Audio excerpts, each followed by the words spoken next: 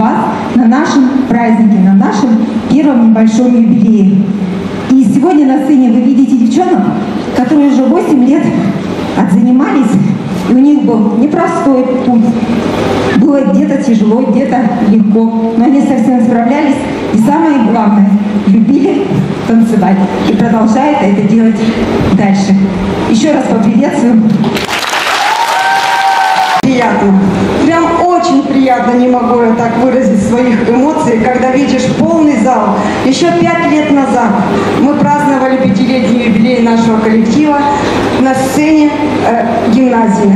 А вот сегодня нас встречает главная сцена города Сосновоборска ГДК «Мечта». Да мне приятно, конечно, мне поблагодарить и вручить сегодня наш главный документ, документ об образовании девочкам, которые проучились, вы сказали, 8 лет по самой долгосрочной программе этого коллектива. И называется эта программа «Ритмика и хореография».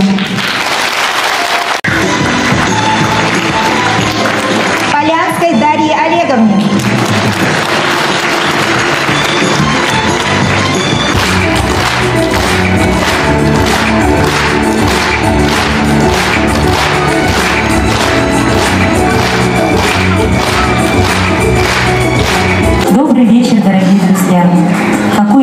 Непосредственно сегодня вечер.